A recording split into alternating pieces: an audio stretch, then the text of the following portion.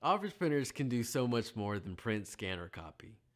These machines can also automate a lot of the different jobs that you do on a daily basis, as well as make your documents easily retrievable.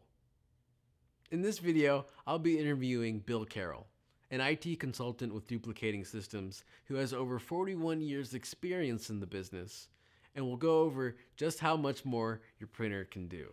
You're already using your machine to scan documents. Everyone can scan to their email or scan to a folder. But I like to ask customers, what do you do with those documents after you scan them in? And what I find is that most people have to move those documents someplace else. Well, what if we could automate some of that? How much time could that save you?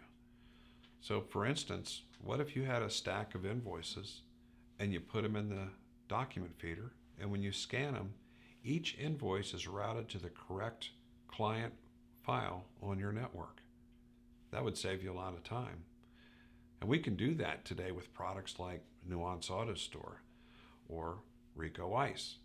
We can recognize data in those documents, extract it, if you will, and then use that data to look up a location and route that document to that location. It's really a big time saver.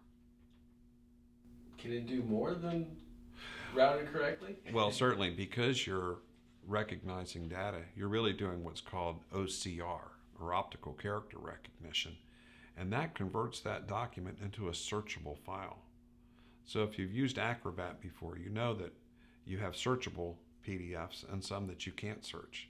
Well, all of these documents will now be searchable, which means if you've got a big repository full of documents and you need to find specific files, you just do a search and it brings up all of those documents that meet your search criteria.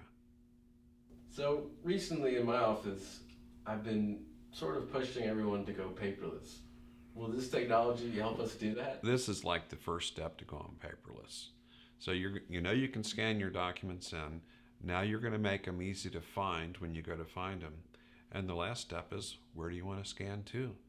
Some people just want to scan to the local server, local hard drive. But you might want to scan to Dropbox or Box or Google Drive, maybe Office 365.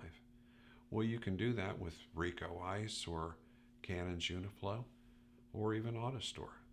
So we can help you accomplish those goals.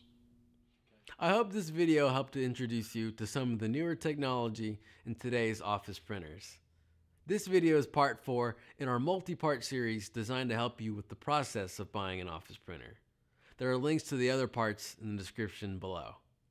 If you have any questions or we didn't cover the information you were looking for, feel free to ask us in the comments down below or contact us directly at Duplicating Systems.